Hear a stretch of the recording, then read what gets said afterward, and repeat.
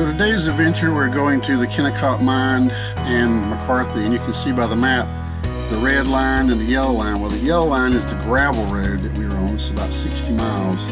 And when you get to the end of the gravel, you go through this. This is what they call the split. And you start heading on the gravel road. Um, here you've got the river there, and there's some fish wheels on, on this river, and there's some stunning views along the way as well.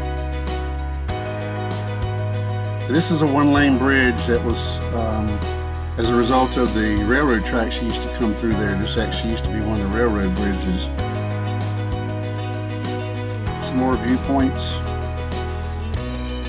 Now we're kind of down towards the end of the road here and this is the footbridge that takes you across. There is a car bridge but it's more for the locals, it's further downstream. Now we're at the McCarthy um, train station and then the town of McCarthy, which sprung up because um, the actual mine town was non-drinking and no women. So McCarthy sprung up to be the whiskey, wine, and song uh, part of town. So that's kind of the history of that. Now, this is the National uh, Historic Landmarks.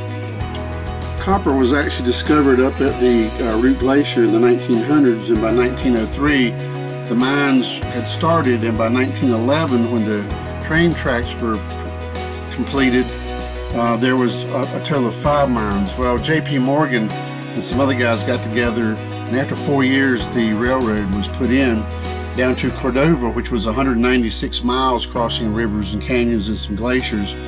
Now the whole system ran until 1938 that was the last train out.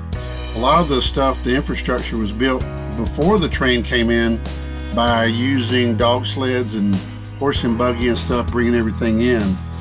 Um, so that's kind of the history of the train. Here's the one of the train trestles that was built in like 18 days.